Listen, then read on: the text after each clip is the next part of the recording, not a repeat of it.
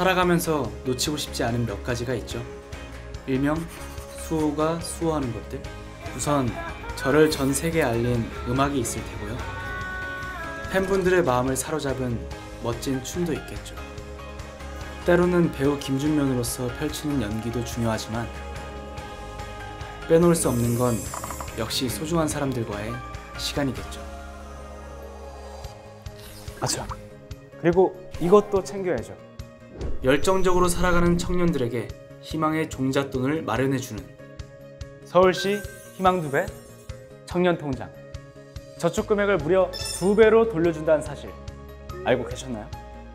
서울에 사는 일하는 청년이라면 지원 가능하고 가입 문턱을 낮춰 참여 기회도 늘어났죠. 저 수호가 수호하는 서울시 희망두배 청년통장. 꿈도 미래도 놓치지 마세요.